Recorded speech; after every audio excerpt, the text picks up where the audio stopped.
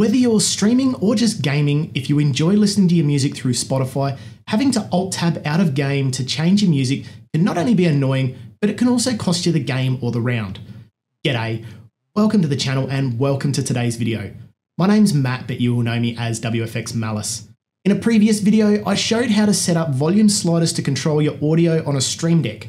One of the plugins we used was a plugin called Spotify Integration by Bar Raiders. It can be a little bit tricky to set up, so in today's short tutorial, I'm going to show you everything you need to get it up and running so that you'll be able to play your music, skip track, volume up and down, and even select individual playlists. Let's get started.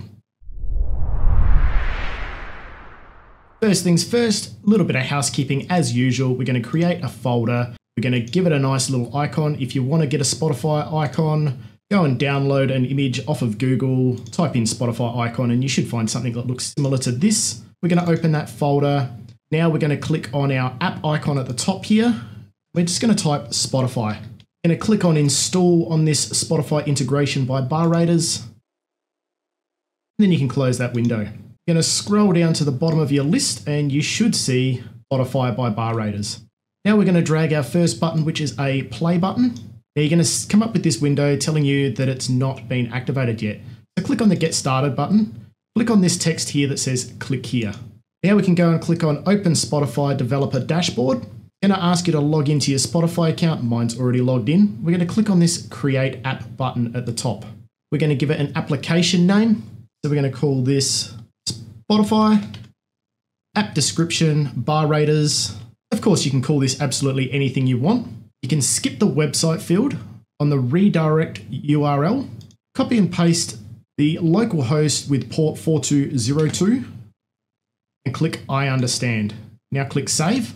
You've just created a app within Spotify developers. Now click on the settings button. You're going to see this client ID.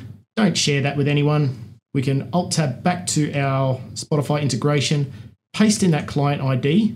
We're going to click on this view client secret Copy that. Once again, don't share that with anyone and paste that in.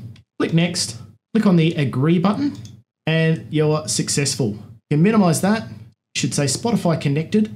If it hasn't done this, go back and check your settings. Make sure you've got that local host with the port number associated.